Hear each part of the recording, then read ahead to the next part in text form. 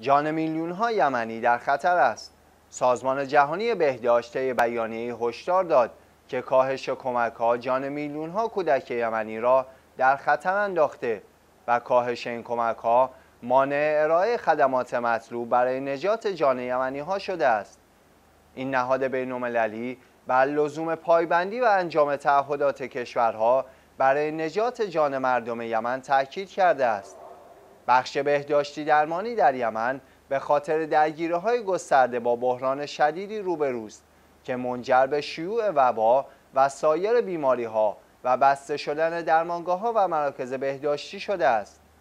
پیشتر نیز ناتالیا کانیم مدیر اجرایی صندوق جمعیت ملل متحد نسبت به وقوع فاجعه انسانی برای زنان یمنی هشدار داد.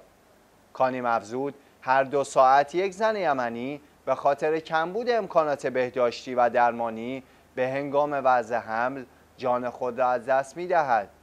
همچنین 100 بیمارستان از 268 بیمارستانی که تحت پوشش صندوق سازمان ملل است تعطیل شده است.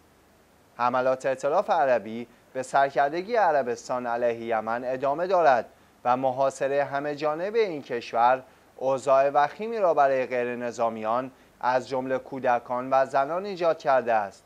این جنگ همچنین میلیون های یمنی را با بحران شدید گرسنگی و قحطی روبرو کرده به گونه ای که سازمان ملل متحد در گزارشی کمبود شدید مواد غذایی و دارو در این کشور را بزرگترین فاجعه انسانی نامید